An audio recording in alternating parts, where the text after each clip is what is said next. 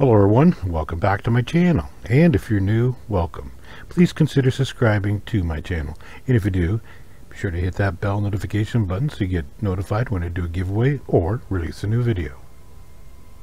On this video here, I want to introduce you to another colorized coin of Canada's that was produced in 2008.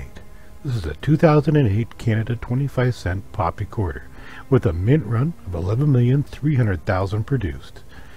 Its alloy is 94% steel, 3.8% copper, and 2.2% nickel. It weighs 4.4 grams with a diameter of 23.88 millimeters, has a thickness of 1.58 millimeters.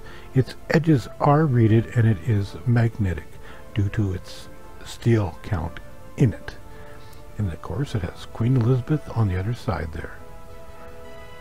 As you can notice, this one here has been circulated. I found this actually out of a roll of quarters that I was searching on my uh, one of my live streams.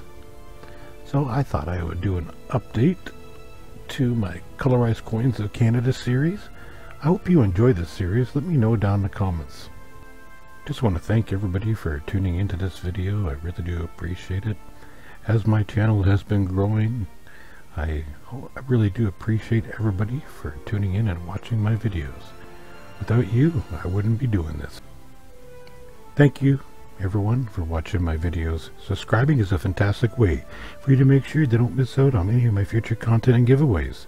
A like, a share, and a subscribe will go a long way to help me grow my channel bigger and better so I can make more content for you. Until the next video, thank you again for watching, and we'll see you then.